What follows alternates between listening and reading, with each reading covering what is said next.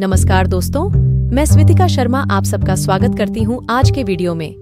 आज इस वीडियो में हम निकोला टेस्ला कोट तीन छ नौ के बारे में जानेंगे। तो चलिए वीडियो शुरू करते हैं। निकोला टेस्ला इस धरती पर जन्म होने वाले शीर्ष के प्रतिभाशाली व्यक्तियों में से एक ऐसा नाम, जिनके साथ ना जाने कितने अज्ञात रहस्य से जुड़े हैं, जिन्हें सुलझाने में आज भी विज्ञान पूरी तरह से उलझा हुआ है।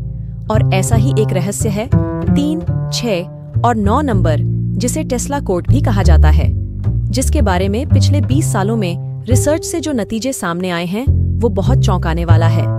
Electricity, electric motor, X ray technology, radio, remote control technology, जैसे सफल आविष्कारों के जन्मदाता 300 से भी ज़्यादा पेटेंट और अनलिमिटेड फ्री वायरलेस इलेक्ट्रिसिटी, जैसे अनलिमिटेड मिस्ट्रियस प्रयोग करने वाले रहस्यमय आविष्कारक निकोला। आखिर ये तीन, छह और नौ नंबर के अपने इस थियोरी से दुनिया को क्या समझाना चाहते थे? आखिर तीन, छह और नौ नंबर को लेके उन्हें इतना बड़ा दावा क्यों किया? अगर आप इन नंबरों के रहस्य को सुलझा पाए तो समझो आपने ये ब्रह्मांड की चाबी को खोज लिया है। ऐसा क्या खास था इन नंबरों में, जो आठ भाषाओं के ज्ञान रखने वाला एक जीनियस साइंटिस्ट इन नंबरों को धार्मिक रूप से अपने जीवन की हर चीज़ में किसी न किसी तरह से शामिल कर लेता था? किसी बिल्डिंग में एंटर होने से पहले उस बिल्डिंग के तीन चक्कर लगाना, खाने से पहले हर बार अपनी प्लेट को 18 नैपकिन से साफ़ करना, किसी भी होटल के सिर्फ़ उसी रूम में रुकना, जिसका नंबर तीन छ और नौ से डिवाइड हो सके। ऐसे ही कुछ आदतें उनके दैनिक जीवन का हिस्सा थीं, और जिसके कारण लोग उन्हें पागल और सनकी भी कहते थे। चलिए, खोजते हैं तीन, छह और नौ से जुड़े ब्रह्मांड के उस गहरे रहस्य को, जिसकी तरफ़ निकोला ने इशारा किया था। दोस्तों, साइंस आज ये मानता है कि ब्रह्मांड की हर चीज़ के निर्माण में गणित का इस्तेमाल बहुत ही खूबसूरती से किया गया है। दूसरे शब्दों में, गणित को इंसान ने नहीं बनाया है, क्योंकि गणित तो इस ब्रह्मांड में पहले से ही मौजूद था। इंसान ने तो बस गणित को खोजा है। जी हाँ गणित वो भाषा है जिसका इस्तेमाल सृष्टि के निर्माण में हर चीज़ में किया गया है। और सीक्रेट पैटर्न इस ब्रह्मांड की हर चीज़ में मौजूद वो दिलचस्प पैटर्न है जिसको ब्लूप्रिंट ऑफ़ गॉड भी कहा जाता है। ये है एक सेल इस धरती पर मौजूद हर जीव, हर प्राणी के जन्म की शुरुआत। यह एक सेल से होती है। और यह सेल डबल होकर दो सेल में कन्वर्ट होता है। दो सेल चार में, चार सेल आठ में, और आठ से सोलह सेल में, और सोलह सेल बत्तीस में। और यह प्रक्रिया ऐसी ही निरंतर चलती रहती है। और अगर हम इस प्रक्रिया को मैथमेटिकली अरेंज करें तो हमें ये सीक्वेंस मिलता है।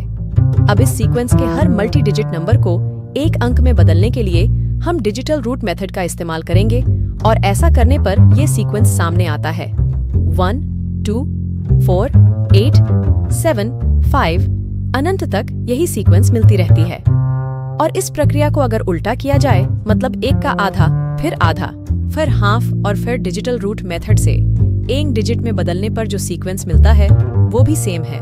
One two four eight seven five लेकिन आश्चर्य सृष्टि के इतने बड़े प्रोसेस में तीन, छह और नौ गायब हैं। रिसर्च से ये बात सामने आती है कि इस पैटर्न में आने वाले एक, दो, चार, आठ, सात और पाँच।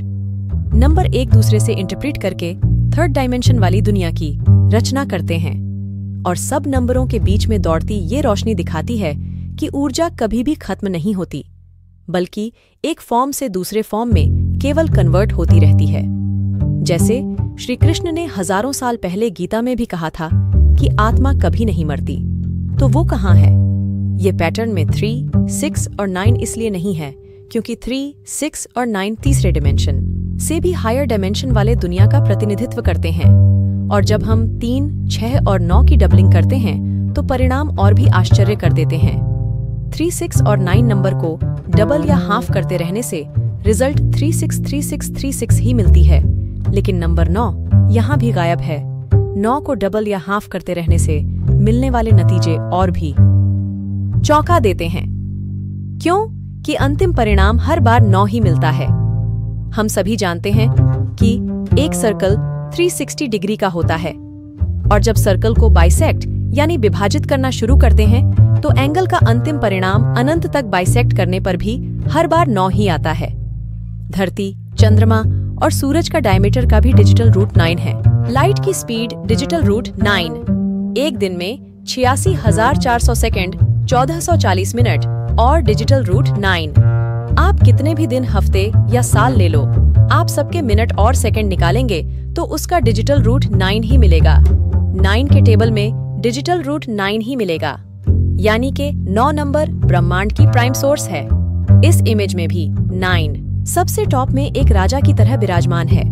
तीन और छह नंबर को कंट्रोल करता है और तीन और छह नंबर बाकी सभी नंबरों को कंट्रोल करते हैं।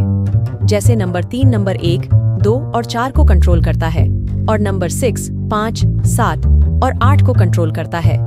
यानी कि सभी नंबर नौ की निगरानी में इस ब्रह्मांड को बनाते हैं।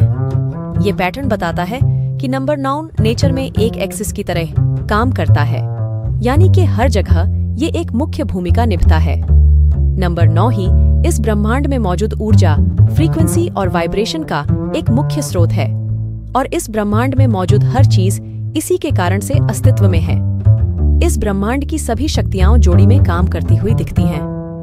जैसे इस पृथ्वी की मैग्नेटिक पावर नॉर्थ और साउथ दो पोल ही होते हैं। इस संसार में दो तरह की शक्तियाँ हैं, अच्छी और बुरी। लेकिन वास्तव में ये एक भ्रम है, क्योंकि कोई भी शक्ति दो जोड़ी में काम नहीं करती। सभी कुछ तीन जोड़ी में होता है। जैसे मैग्नेट में कहने के लिए दो पोल होते हैं, जो तीन और छह को रिप्रेजेंट करते हैं। लेकिन मैग्नेट केवल इन दो पोल के कारण से काम नहीं करता, बल्कि इसमें एक तीसरी शक्ति का भी रोल होता है। जी हाँ मैग्नेट का एक्सिस नंबर नाइन को दर्शाता है, जो चुंबक के दो एक्सिस तीन और छह को शक्ति देता है। तभी ये दोनों पोल काम करते हैं। अच्छी और बुरी के प्रत्येक मियान में भी दो शक्तियाँ नहीं होती। बल्कि इन दोनों शक्तियों के बीच में बनने वाला ये एस नाइन को रिप्रेजेंट करता है। थ्री वो नंबर है, जिसका इस्तेमाल इस ब्रह्मांड में ज़्यादा है और चीज़ों को बनाने में नज़र आता है। जैसे परमाणु में तीन पार्टिकल्स होते हैं। प्रोटॉन, न्यूट्रॉन और इलेक्ट्रॉन। और इन्हीं तीन कणों से पूर्ण भौतिक संसार का निर्माण हुआ है। दोस्तों, आपको आज का ये वीडियो निकोला टेस्ला थ्योरी 369 कैसा लगा? इसमें बताने के लिए और भी बहुत कुछ है, लेकिन वीडियो ज़्यादा लंबा हो जाएगा।